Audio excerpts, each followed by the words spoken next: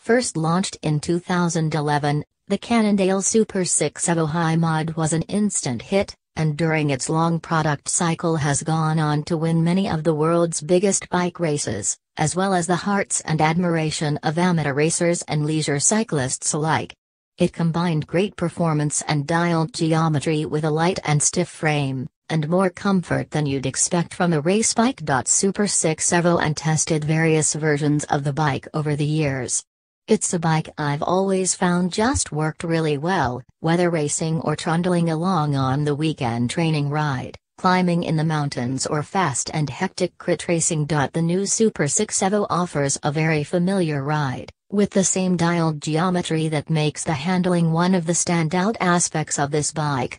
While the familiarity is welcome, there's a noticeable improvement in how quickly the bike responds to your inputs, whether through the handlebar or pedals.